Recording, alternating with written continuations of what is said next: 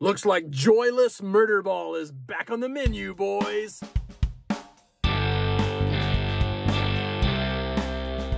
Will Anderson Jr. of the University of Alabama. Captain, my captain. Not only should he have been in New York City for the Heisman Trophy presentation last year, not only does he hold the record for second most sacks in school history, he's also bringing back the hate. During the press conference today, Will Anderson Jr., aka,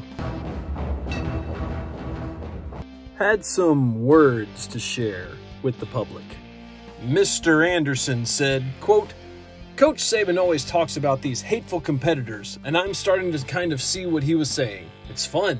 Last year we had a couple of road games that were kind of bumpy, but I think it's really fun. Okay, maybe not joyless murder ball, but murder ball.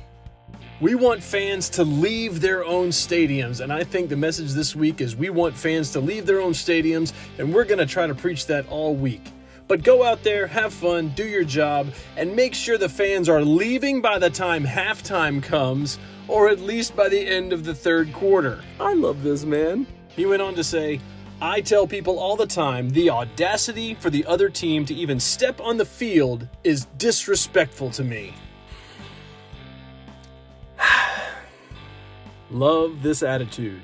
I think this is what's been missing from Alabama football for the past couple of years. So going forward, win or lose, at least we got back to the old adage that Coach Saban preached when he first got there. Now, what kind of football team that we want to, do we want to have here? You know, we want to be a big, physical, aggressive football team that is relentless in the competitive spirit that we go out and play with week in and week out. And what I would like for every football team to do that we play is to sit there and say, I hate playing against these guys.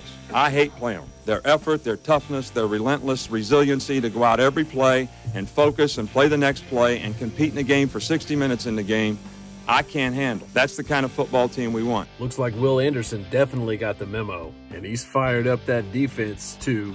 Make his ass quit!